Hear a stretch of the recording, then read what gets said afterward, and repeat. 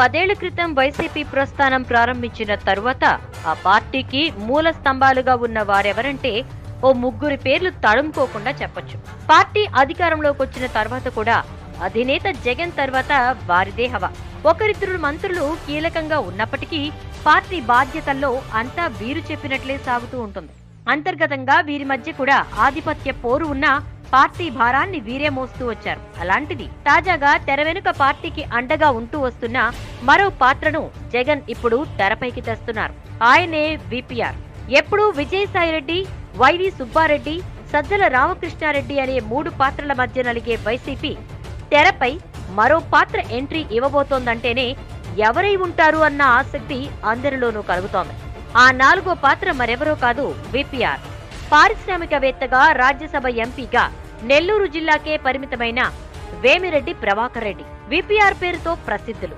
YCP ప్రస్థానం ప్రారంభమైన నాటి నుంచి పార్టీకి ఆర్థికంగా అండగా ఉన్న విపిఆర్ తెర ముందు కనిపించేది చాలా తక్కువ.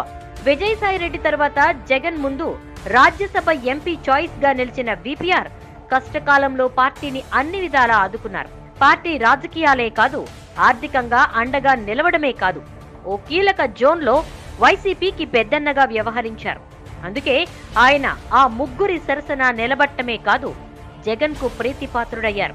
గ్రేటర్ రాయలసీమగా చెప్పుకునే ప్రాంతంలో పక్కపక్కనే ఉండే ప్రకాశం కర్నూలు జిల్లాలు చాలా కీలకం. ఈ రెండు జిల్లాల్లో గతంలో ఉన్న పరిస్థితులు వేరు ఇప్పుడు వేరు. ఈ రెండు జిల్లాలు వాస్తవానికి వైసీపీకి బలమైన జిల్లాలు. అయితే పార్టీ అంతర్గత రాజకీయాల వల్ల గతంలో ఇక్కడ ఎదురు దెబ్బలు తప్పలేదు. గత ఏడాది వైసీపీ గాలి రాష్ట్రమంతా బలంగా వీచినా పార్టీకి పరిస్థితులు అనుకూలంగా ఉన్న ప్రకాశం జిల్లాలో కొన్ని ఎదురు దెబ్బలు తప్పలేదు. దీంతో గతంలో మరో నేత వైవి సుబ్బారెడ్డి చూసిన ప్రకాశం జిల్లా బాధ్యతలతో పాటు కర్నూలు జిల్లాను కూడా వేమిరెడ్డి ప్రభాకర్ రెడ్డికి అప్పగించారు. ప్రస్తుతం కర్నూలు ప్రకాశం జిల్లాల వైసీపీ బాధ్యతలు పార్టీలో మరో కీలక నేత సజ్జల రామకృష్ణారెడ్డి నిర్వహిస్తున్నారు. ఓ దశలో జగన్ స్థానంలో పార్టీ బాధ్యతలు ఆయనే చూసుకుంటారు అనే ప్రచారం జరిగింది.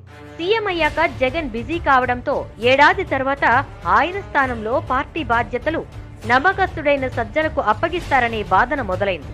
అదే సమయంలో జగన్ అనూహ్య నిర్ణయం తీసుకున్నారు.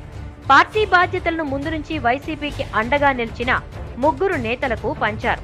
ఇందులో కర్నూలు ప్రకాశం బాధ్యతలు కూడా సజ్జలకు దక్కాయి. అయితే మరోసారి ఆయన బాధ్యతల్లో కోత పెట్టి వేమిరెడ్డిని తెరపైకి తీసుకురావడంపై చర్చ జరుగుతోంది. అది గతంలో మరో నేత వైవి సుబ్బారెడ్డి చూసిన ప్రకాశం జిల్లా బాధ్యతలు కూడా ఉండటం మరో ట్విస్ట్గా నిలుస్తోంది. వీడియోపై మీ అభిప్రాయాన్ని కామెంట్ చేయండి. అలాగే మా ఈ ఛానల్ మర్చిపోకుండా సబ్స్క్రైబ్ చేసుకోండి.